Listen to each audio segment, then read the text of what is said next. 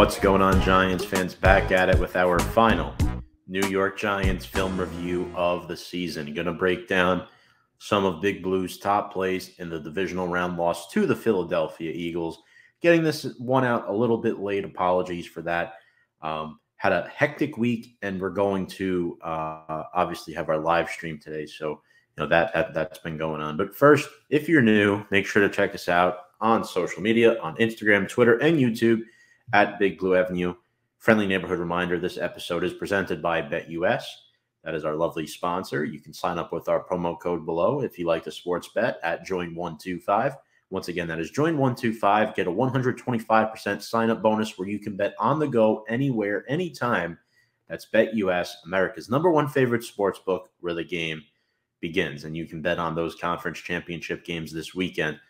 Um, unfortunately, the Giants won't be participating in that, but they made it to the divisional round, which is a very uh, impressive feat for a team that was rebuilding this season. Now, there's three plays in particular in this game that really stood out to me.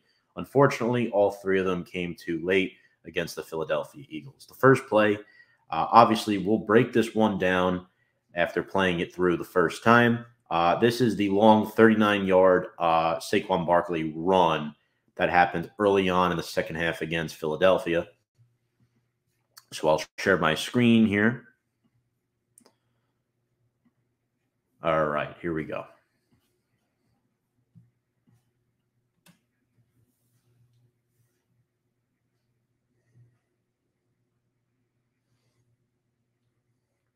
Okay, so got the formation here. They're loading trips to the left. They have Bellinger, the tight end, lined up to the right, right? So, okay.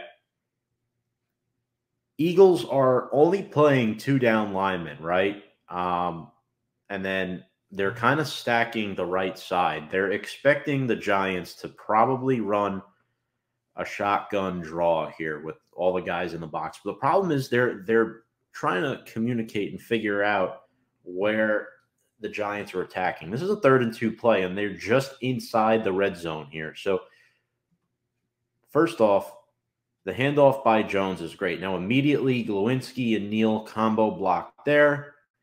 This, these both defenders realistically are sticking out here because this one's blitzing. So, one of them is going to take Bellinger if he goes out on a route, and you have to respect the mobility of Daniel Jones running the football. So, this defender is staying true in case Jones runs. So this is good design by the Eagles to stop Daniel Jones, but not Saquon Barkley. As you can see, Feliciano and Gates do a good job clearing the path. Saquon zips through. He's super quick.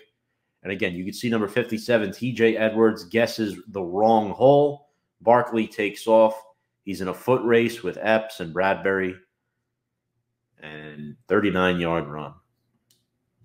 Beautiful run. Unfortunately, Barkley only carried the ball nine times in the Philadelphia game. But let's go on to our second play. This also involved Saquon Barkley, not directly, but uh, it, it was a very fun play to watch. It was the Giants' only touchdown of the game.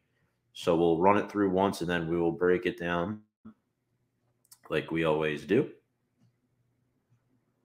Apologies, my uh, internet's running a little slow today. So, all right, Eagles once again only one down lineman here. It's Hodgins and Slayton, the two receivers in the game. They have Bellinger. They have Breida, who's running across the formation, pistol set with Barkley behind Jones. Now, Breida runs. He goes back. Jones runs out. Barkley's now the quarterback. So once Jones runs out, I want you to watch the eyes of safety number 32, Reed Blankenship. Look at the defense move this way because they're expecting, oh, Saquon may fake it to Breida and Saquon may take it himself. So the edge here by Haason Reddick, they have to watch it.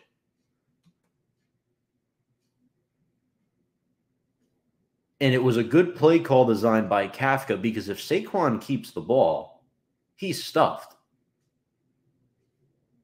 Jones running out.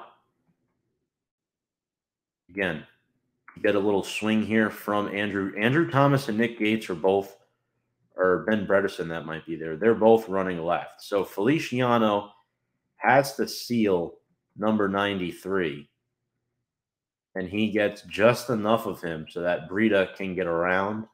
It fools the cameraman out, and Breida the score for the touchdown. And again, you'll see this play close up one more time. Good block there by Feliciano. And Breida does the rest. Breida is lightning quick. That's one of his best qualities. And one more time, let's watch the right side of the line. Evan Neal and Mark Glowinski, right? So again, they're also pushing towards the middle. So realistically speaking, Breida has to be quick here because Slayton and Bellinger have two important blocks to make. Luckily for him, they make their blocks and he cruises into the end zone. All right. Final play here. This is the Xavier McKinney strip sack. Uh, this is on the ensuing possession in the middle of the third quarter. Uh, Eagles are in a bunch formation here. Um, we'll show it to you once and then we'll break it down. All right.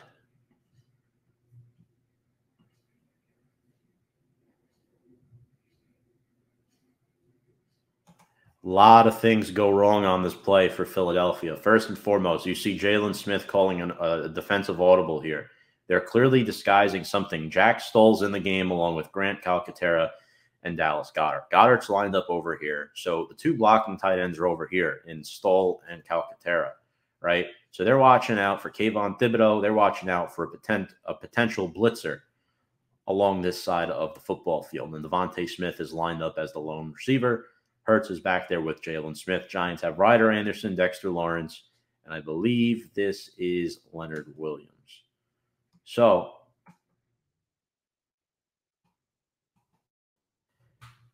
watch what happens. Jihad Ward does a really good job. So the, the Eagles, I'm not exactly sure what's happening on this play because Seumalo's playing right guard and he's going to pull left. So they're expecting pressure. But when Seumalo pulls left, one of these tight ends has to help pick up the middle, and then Jack Stoll does not do his job. Stoll is too slow to get out to Xavier McKinney. And also on the other side of the field, the push by Ryder Anderson here, along with Dexter Lawrence, it allows Jihad Ward to get by Seumalo or get into the face of Seumalo at least. Because right now, Hurts is not looking at much. He steps up, he's running into Kayvon Thibodeaux, who's cutting in right now. Leonard Williams occupying two guys. So again, this is a job well done. You have Jarrad Davis spying the QB, Jaylon Smith running with uh, I believe that's Calcaterra just in case. And Jack Stoll just absolutely whiffed. McKinney strips the football. Philadelphia very fortunate to recover that fumble. So ladies and gentlemen, that is the final film room of the 2022 New York football Giants season. We appreciate everybody for watching this season. Stay tuned for more off-season content. I'll have um, an update soon on some maybe new coaching changes for the Giants. Um, you know, we'll see if there's anything newsworthy over the next couple of weeks. But if not, as always, appreciate you all. Make sure to go check us out on our social media at Instagram, Twitter, and YouTube at Big Blue Avenue. And folks, without further ado, let's go Big Blue.